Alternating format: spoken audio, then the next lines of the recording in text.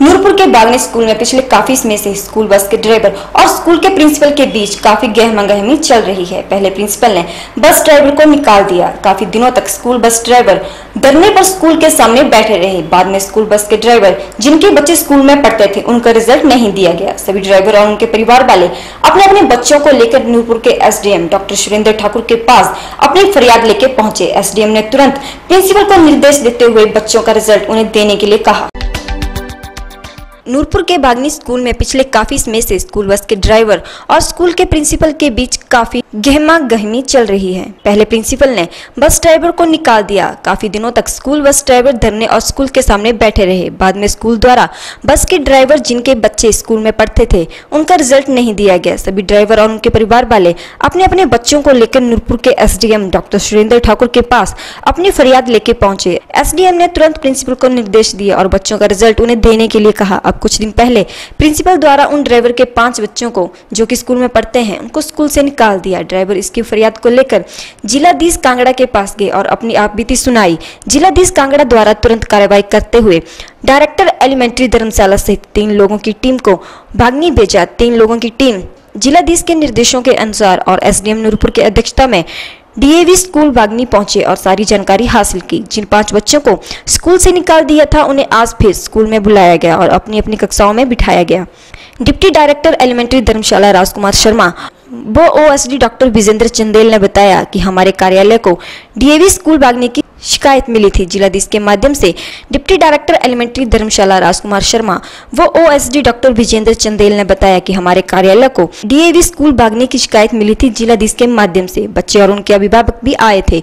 जिलाधीश ने हमें विज़िट करने के लिए कहा, हम पिछले शनिवार को स्कूल में आए थे, हमें तुरंत यही फैसला लिया कि अभी की अभी बच्चों की एडमिशन हो जानी चाहिए। प्रिंसिपल को निर्देश दिया कि इसी में बच्चों को स्कूल में बिठाया जाए। प्रिंसिपल से सर्टिफिकेट लिया कि वो बिना कंडीशन के एडमिशन कर रहे हैं और आगे ऐसा कुछ नहीं करेंगे। फिर हमने आज का दिन निश्चित किया क्योंकि कुछ इशू जो अभिभावकों के थे कि क्या ऐसी परिस्थितियाँ पैदा हुई कि बच्चों को निकालना पड़ा या इन्होंने निकाला। स्टाफ से भी इस विषय पर विचार विमर्श किया जाएगा और बच्चों के अभिभावकों से भी छानबीन कर रिपोर्ट जिलाधीश को सौंप दी जाएगी।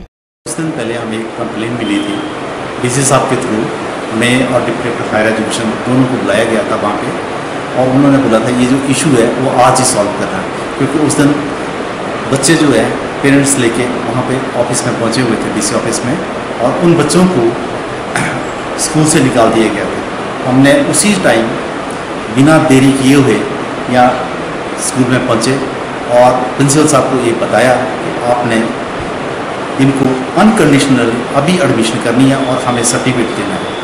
और वैसा ही किया गया। एस साहब भी उस दिन यहाँ पे पहुँच गए थे। लेकिन इनका जो इंक्वायरी का इशू था, वो अभी रहता था। उसके लिए हमने एक क्वेश्चनर तैयार किया है। और क्वेश्चनर हमने प्रिंसिपल साहब को दे दिया है। उसका वो हमें, उसका उत्तर देंगे। उसके हिसाब से ही हम बाद में अपनी जो वो तैयार करके, जैसे भी है, अपने डिपार्टमेंट हायर अथॉरिटीज़ को देंगे डी साहब को सौंपेंगे। और उसकी अलग अलग कापियाँ हम दी जाएँगी, जैसे भी शुरू है और हम ये चाहते हैं कि बच्चों की एडमिशन नहीं रुकनी चाहिए थी, क्योंकि आरटीई के अंडर आप किसी भी बच्चे को स्कूल से निकाल नहीं सकते हैं। कोई और इशू है, उसके लिए अलग से बात की जा सकती है, लेकिन बच्चों को स्कूल से नहीं निकाला जा सकता।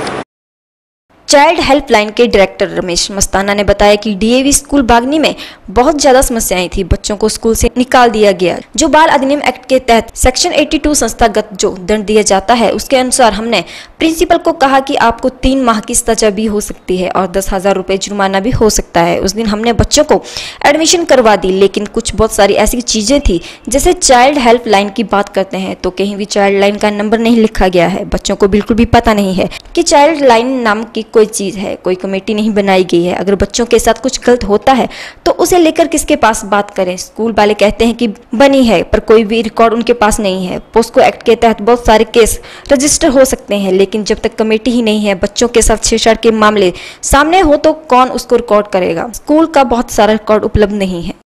से हम लोगों को पता चला कि डीएवी स्कूल भागनी में बहुत सारी समस्याएँ थी, बच्चों को निकाल दिया गया।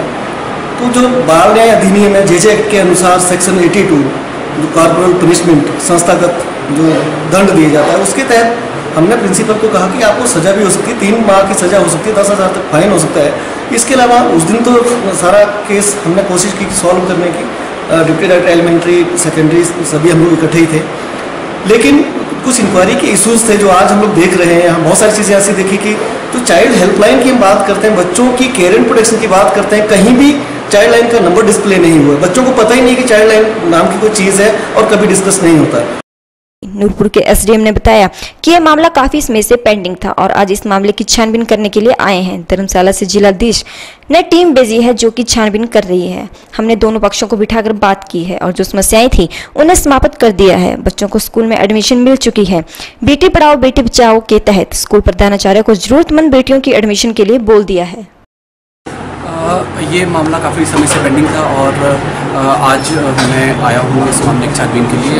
हमारे साथ डिप्टी डायरेक्टर हायर और डिप्टी डायरेक्टर एलिमेंट्री एजुकेशन के इसके अलावा जो है चाइल्ड हेल्थ बैंक संस्थान जी आए थे। एनजीओ यूनियन से भी जो प्रेसिडेंट है मदन राणा जी, वो यहाँ पर आए थे। हमने दोनों पक्षों को बिठाकर बात की है। बहुत सारे इश्यूज़ थे तो समस्त इश्यूज़ को सेटल कर दिया है। कुछ बेटियों को जो है स्कूल में एडमिशन मिल चुकी है।